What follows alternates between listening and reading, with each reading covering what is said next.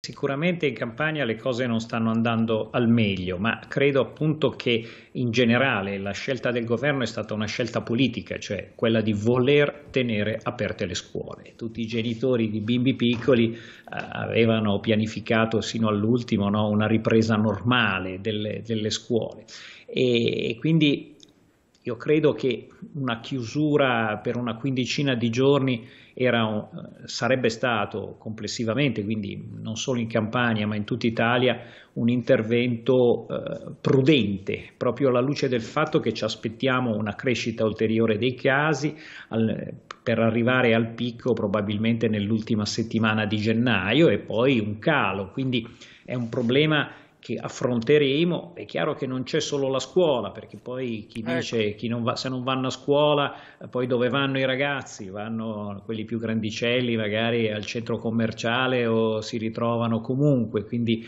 in situazioni a rischio. Però non c'è solo la scuola, anche il calcio si lamenta, comunque è una grande sfida perché c'è una quota anche di insegnanti malati, quindi un, una serie di problemi proprio a coprire le aule. Quindi è chiaro che l'elemento che dico è la DAD non è una cosa terribile, la DAD è un qualcosa che può servire di complemento alla, alla, didattica in presenza. È chiaro che se la si usa in emergenza, come si è fatto la prima volta, si creano anche difficoltà. Non so, ci sono famiglie che hanno due o tre computer e non hanno problemi a comprarsene magari un quarto ma ci sono famiglie dove eh, abbiamo visto i bimbi che hanno, i ragazzini, insomma, dovuto seguire le ecco. lezioni dal, dallo smartphone, che ovviamente magari in un contesto anche non funzionante di, di rete eh, di connessione non, non adeguata. Quindi eh, questa è un po' una pecca complessiva perché l'occasione della DAD come dello smart working può essere visto come approccio diciamo strutturale no?